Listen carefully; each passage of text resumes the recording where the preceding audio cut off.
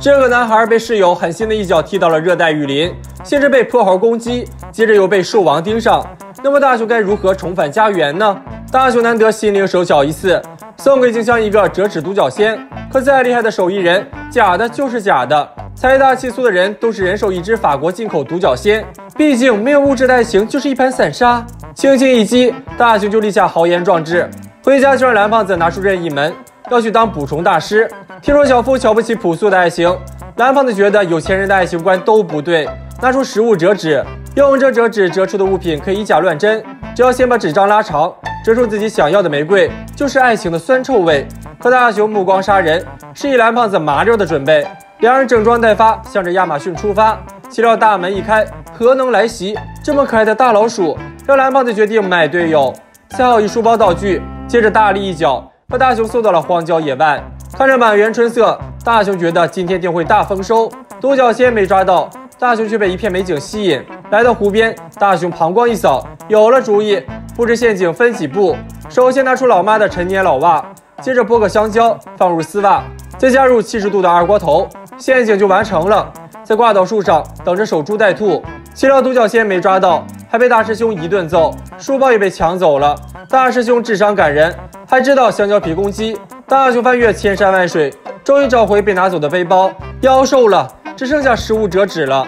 大雄还迷路了。蓝胖子虽然担心大雄，可面对热带大老鼠的威胁，大雄的安危那就是轻于鸿毛。大雄盲目行走，累到满天都是小星星，可手中只有折纸。但这丝毫不会影响大雄画饼充饥，而且还是升级版的大鸡腿。可再香的鸡腿，那也是纸做的。大雄小腿太短，还不到十米，树上的椰子又够不到。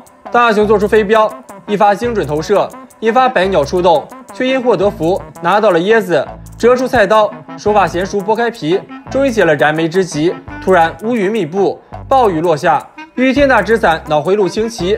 大雄只好在树下等到雨停。大雄全副武装，终于功夫不负有心人，大雄又回到了最初的美景处，而且还有独角仙不请自来。如果不出意外的话，要出意外了。周围异响不断。大雄就举个灯笼想一探究竟，如此充满智慧的眼神，必定凶残无比。看着万兽之王，大雄吓到原地去世。此时的蓝胖子终于克服心理障碍，为了自己的孩儿豁出命了。大雄疯狂逃命，钻进了树洞，可兽王的利爪却步步逼近。蓝胖子终于听到了大雄的呼救声，眼看兽王即将破洞而入，大雄只能手脚并用，朝着高处进发。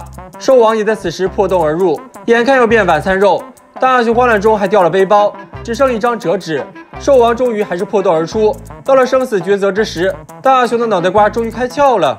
就在兽王扑出前，大雄飘了，乘坐着独角仙与蓝胖子会合。